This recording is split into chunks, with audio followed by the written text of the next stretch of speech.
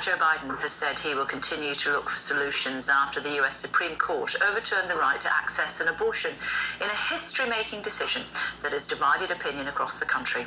The court's ruling last week overturned the constitutional right to an abortion that has existed for almost 50 years following a legal case known as Roe v. Wade. We thought we'd talk about it with um, Scottie and Dr. Shola, and they are with us now. Hello to you both. Thanks for joining us. Scottie, to you first of all. Uh, you say abortion activists are raging because they cannot murder babies. You cannot expect decency from those who never had it in the first place. Perhaps you'd like to expand on that for us. Well, ultimately, Kay, this debate is not necessarily about abortion. Rather, it's about states' rights and our Constitution.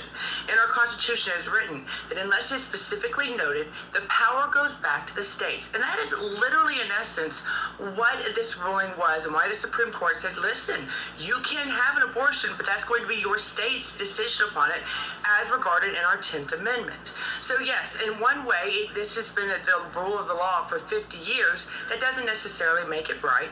We do not have constitutional rights in the United States to have an abortion. It's never mentioned in our Constitution. And therefore, giving the power back to the state to make the decision is exactly what was right for the Supreme Court to do. This has necessarily no changes. The majority of states will not see any changes with their abortion law because of this.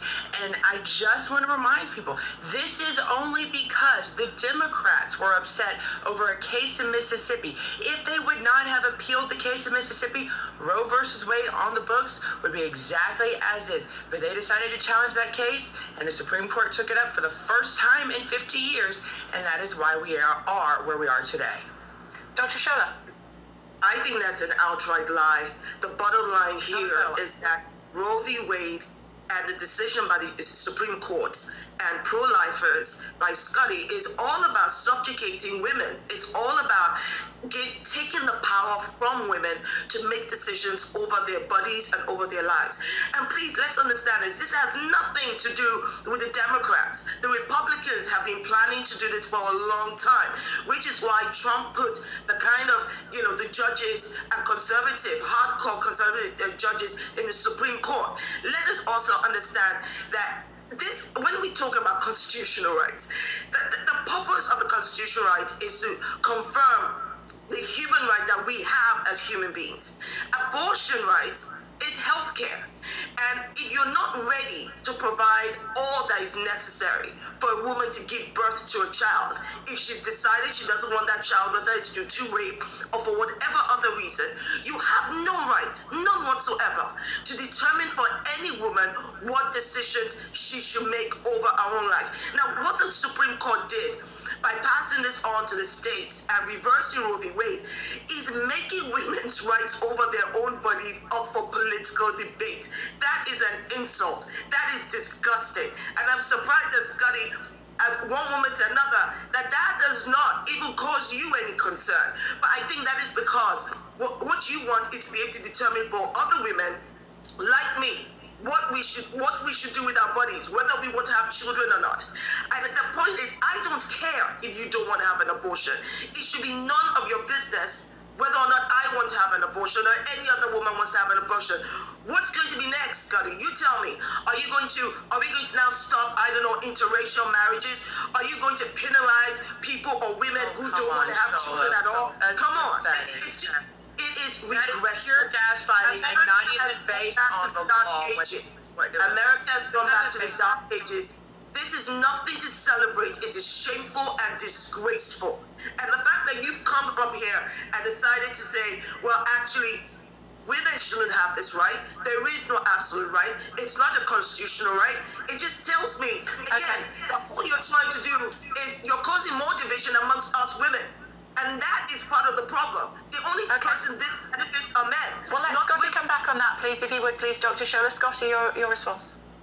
Well, the fact that she says, I don't know what I said that was wrong because everything I was said was based on fact. And the reality of it is only 1% of abortions are actually obtained because of rape, 5% because of incest. But the reality of it is last year alone in 2020, 930,000 abortions happened. The majority of them were second, third, or fourth abortions by women. And it's uh, we don't have a right to an abortion. We don't have a right to murder here in the United States. You have a right to live.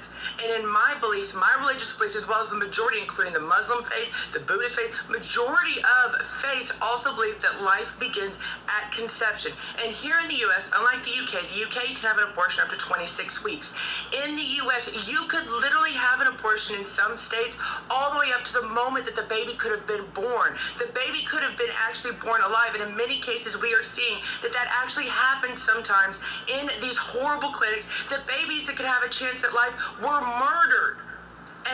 And that is what we were trying to stop with this. And once again, it's not outlawing abortion, it's just allowing the states to make the decision for themselves. This is actually giving the power to women to be able to live, to have a chance at life. And that is what we celebrate. I'm sorry, again, that is a lie. It is taking What is a lie about it, Shola? What is a lie? It is taking power- What did I lie? Okay, so it is taking power away from women. It's not giving power to women, particularly women Giving power to who a are to be able to live. And not 50% of afford- babies are women. I'm going to respond to you. It is taking power away from women. It is banning abortion. That is absolutely taking power from women. And again, you keep referring to, to this, oh, you know, the Constitution does not specifically say that you have got a right to abortion. Uh, well, the, the Constitution did not specifically say that, um, you know, black Americans have a right to vote. It did not specifically say that blacks and white people can get married together. It does not specifically say all of these things. Hold on, ladies. Ladies, ladies, ladies. Thank you. Scottie, we'll come back to you in a second. Dr. Shola. The point is the Constitution does not give right to black people. It does not specifically say black people can vote. Does not specifically say interracial marriages are right. Does not specifically protect the rights of the LGBT community, which is why many people, many marginalized communities have had to fight for this right.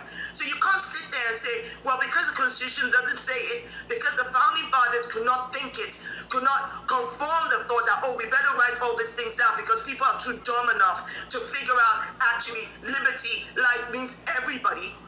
That does not mean you get to say that women should be denied the right to make decisions over their own bodies. So my point to you is this. This is taking the power away from women, black women, working class women who cannot afford alternatives. If you're so concerned about the baby living, why don't you talk about universal health care, universal child care? Why don't you provide for these babies once they're born? But you're not going to do that. The Republican Party's not going to do that because they're a bunch of hypocrites. You want the child to be born, and then you're going to reject a marginalized child, and then as hypocrites, not even lift a finger to feed the child, shelter the child, or clothe the child. So Okay, I'm going to let Scottie come back there if I may, please. But I just want to clarify for you, Scottie. Actually, it's 24 weeks of pregnancy here in the UK, but uh, abortions can be carried out after that time if the mother's life's at risk. Go on. Okay, so here's the thing. It's absolutely pathetic and insulting to all of those who have fought for historical changes. And in the case of racial, gender, all of those, there has been amendments passed. So yes, it is a part of our Constitution. It was actually passed through Congress. That's why this is not a federal right to an abortion. It has never passed. There's not an amendment. Therefore, it goes back to the state. If people care so much about it, pass it through Congress. But even Democrats who hold the House and the Senate refuse to pass it through because they know that is not what the people of the majority of states do not want here in the United States. Want to see a federal right to abortion because you are limiting life, and that goes against our religious, the right to a religious stake in it. And it's not about, of course, it's about, it's not telling women that they can't control their own bodies. It's actually giving women a chance at life. This has nothing, nothing to do with birth control, infertility treatments, all of those things, all this gaslighting and fear mongering that people like Shola, with all due respect, are trying to sell us and trying to blur the issue because when it comes down to it, they just don't like the fact that they cannot use abortion as a source of birth control, a source of living, instead of being responsible, where we now, unlike the 1970s when birth control was not readily available, it is readily available in every single community health care across the United States. People of all levels of income can have responsible choice. Like I said, there is always a case in the, in the case of mothers. Obviously, it is a doc that is between a doctor and the family to decide. But people still have the right to life. That is guaranteed by the Constitution, not the right to end it. And there's okay. a big difference between what the UK law is and the US law is. And in this case, it gives the states a chance to make the decisions for their own. If you don't like well, it, go across the state line. Well, just. Just to clarify, actually, abortion is illegal in the UK, except under certain circumstances. We'll be looking at that uh, with our former Justice Secretary um, a little bit later on in the programme. But Dr. Shola, to Scottie's point that some women are using abortion as a form of contraception, and that cannot be acceptable. Right. Who are you to create what the standards are? My point is this: when you when you place on women this thinking that well, clearly you are wrong because you're using it as contraception without understanding the totality of the circumstances, you're using a blanket mindset to subjugate women. That right there is wrong. You do not know what the totality the circumstances of these women are. So I'm saying to you to back the heck off.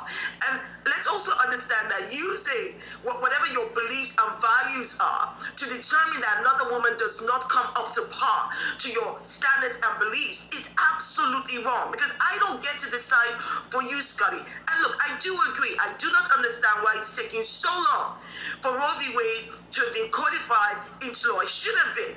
Why that wasn't done by the Republicans and the Democrats, heaven knows. But the bottom line is that the one source by law, by that women had um, as a federal right, and that's how they saw it as, has been taken away from them. Bodily autonomy over a woman's body is not up for political debate. And that is the point. We should not be saying to women, that you cannot think for yourself. How dare you have two, three, four abortions when you do not know what your circumstances are? You're treating women as lesser than less. And you're coming up with all of this so-called Christian values. The Christian values. I, I for all I, for, as far as I'm aware, the Constitution does not even refer to God the Constitution is not meant to be um, to merging to be merging okay. the church and the state. But all Republicans do is keep on using their so-called um, Christian values to judge other people. And I'm a Christian. I'm a Christian, and I'm saying to you that as far as I'm concerned, if abortion is a sin, then it is between the woman and God. It's none of your business. Okay we must leave it there, ladies. Um, thank you both very much indeed for joining us on the programme this morning. We started with you, Scottie, so we must uh, end with Dr. Shola this morning. Thank you both. Um, and just to clarify, um, abortion uh, in the United Kingdom, two doctors must approve uh, the decision to have an abortion, um, having um, said that the baby would pose a greater risk to the physical or mental health of the woman than a termination. Talking about that in more detail, as I said, uh, with the former Justice Secretary, Dr um, Sir uh, Robert Buckland uh, about half past nine this morning.